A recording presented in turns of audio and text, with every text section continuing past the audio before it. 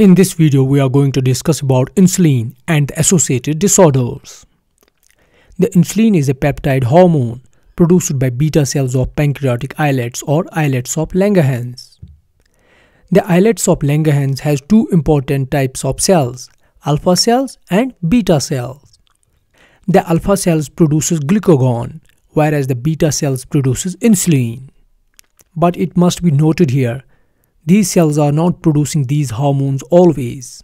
It's when we get the hypoglycemia, we get the production of glucagon. Whereas when we get the hyperglycemia, we get the production of insulin. Now let's see the target organs of insulin and its effects. We see here pancreas has got beta cells and on the other hand we have the blood circulation which is having high levels of glucose in it shown in the diagram. This high concentration of glucose in the blood stimulates beta cells to secrete insulin, as shown in the diagram. Now this insulin acts on different organs and cells. Like we see here, it acts on liver cells. Within the liver cells, it stimulates glycogen synthesis. That increases glucose storage. It also mediates the lipogenesis, which increases fat production. On the other hand, insulin inhibits gluconeogenesis, which reduces glucose production. And in the same way, insulin inhibits ketogenesis, which reduces ketone production. Furthermore, this insulin also targets the fat cells. As shown in the diagram, where first of all insulin targets the GLUT4 channels on fat cells and activates them.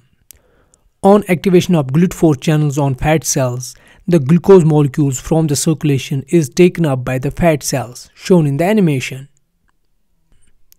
Next is this insulin stimulates lipogenesis and inhibits lipolysis in the fat cells.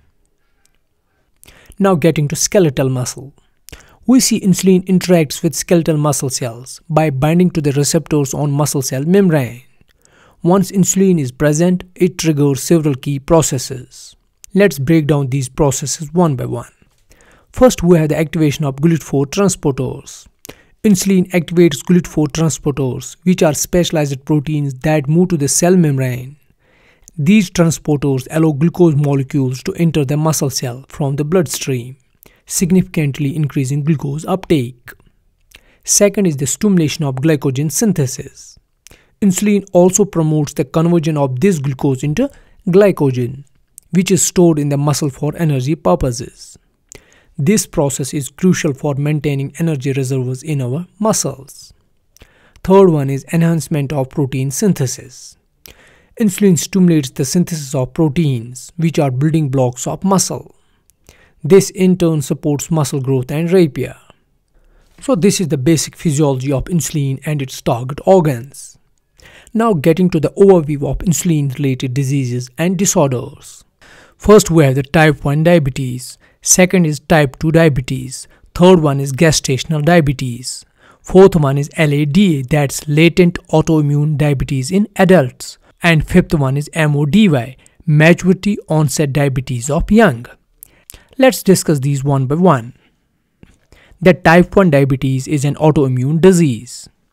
When there is destruction of beta cells, the insulin production is compromised. That leads to type 1 diabetes.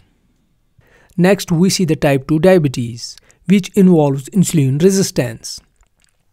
In this condition, the body cells becomes less responsive to insulin, even if the insulin is still being produced. Moving to gestational diabetes. Here we see that it causes temporary insulin resistance during pregnancy. This condition usually resolves after delivery, but can increase the risk of developing type 2 diabetes later.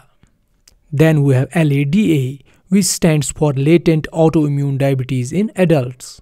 This is a gradual process involving the loss of beta cells over time. It's often misdiagnosed as it's often misdiagnosed as type 2 diabetes because of its slower onset. On the far right, we see MODY or maturity onset diabetes of the young. This disorder is due to defective beta cell function and typically appears in younger individuals, often with a genetic link.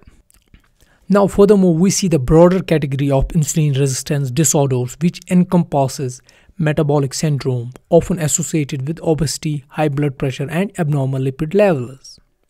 Second is polycystic ovary syndrome, a common condition in women linked to insulin resistance. Third is lipodystrophy, a condition where fat distribution is abnormal affecting insulin sensitivity. And last one is insulin receptor mutation, seen here as a rare genetic condition that makes cells less responsive to insulin.